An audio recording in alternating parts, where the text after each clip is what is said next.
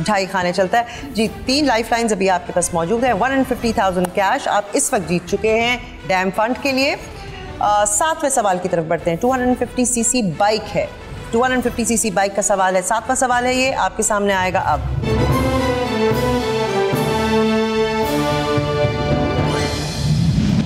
Seventeen eighty nine में शुरू होने वाले फ्रेंच रेवोल्यूशन का नारा क्या था? ये रेवोल्यूशन किस चीज़ के अगेंस्ट या किस चीज़ के लिए थी? आपकी ऑप्शन है unity faith discipline B freedom and fraternity C we want liberty या D liberty equality and fraternity We went on laboratory and food home and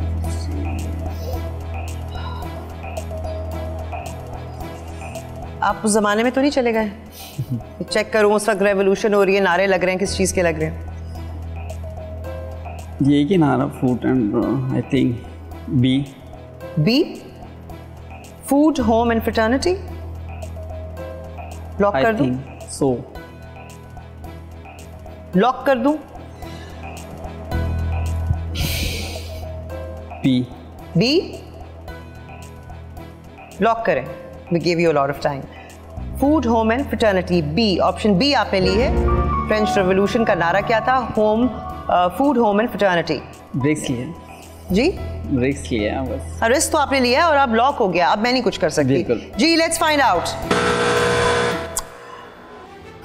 गलत। तुक्का नहीं लग सका हर दफ़ा नहीं लगता होता। सही जवाब है D liberty quality and fraternity और ये आई थिंक पहली दफ़ा हुआ है कि हम यहाँ तक पहुँचे और तीनों लाइफ लाइन्स इंटैक्ट हैं। क्या करना था आपने इनका? इसमें कॉम्प्लिकेशन आए थी थे नहीं आपको कॉम्प्लिकेशन नहीं लगी कि कोई बात नहीं। ये तो बहुत ही आपका लेट बैक एटीट्यूड है। ये तीनों ये पड़ी हुई हैं क्या भाई पैक करके इनको दें ये लाइफ लाइन्स ये लेकर जाएँ अपने साथ। किस लिए थी ये? आपकी ज़िंदगी को बचाने के लिए थी इस गेम में।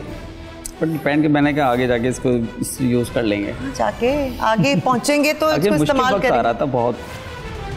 मुश्किल वक्त आ रहा था। I think it's first time it is happened जब से मैं ये I be doing this show के तीनों की तीनों लाइफ लाइन आपने यूज़ ही नहीं की। Anyway thank you for being in the show बोल एंटरटेनमेंट के शोज़ देखने के लिए हमारे चैनल को सब्सक्राइब करें और बेल आइकन पर क्लिक करना ना भूलें।